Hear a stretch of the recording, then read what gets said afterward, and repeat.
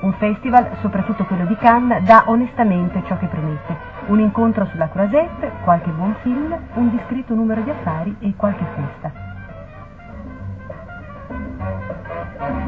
Appunto a un ricevimento campestre alla Napul abbiamo incontrato Lino Ventura e Belmondo, protagonisti di 100.000 dollari al sole. Lino Ventura è uno dei due protagonisti di 100.000 dollari al sole. Lei è italiano, vero? Sì, Di che origine?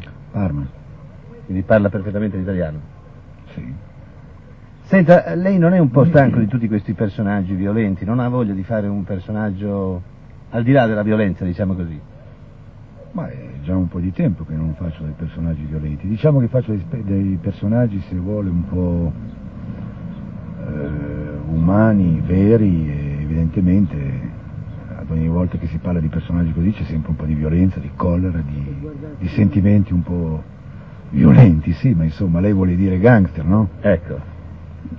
Ma è già un po' di tempo che non ho fatto un film di gangster, anzi adesso ci ritorno con piacere perché devo fare un film con Melville che sarà una storia di gangster, ma veramente molto dura e molto difficile anche da fare.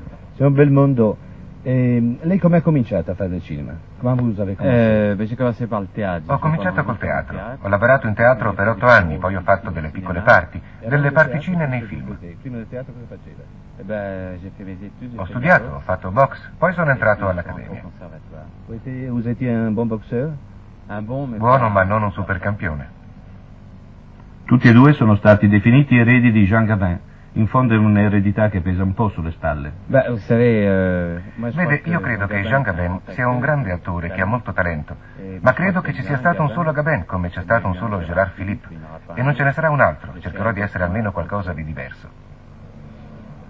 Oddio, già da molti anni che si dice questo, sa? Vorrei che la gente avesse, avesse un po' più di immaginazione, io insomma non ci credo.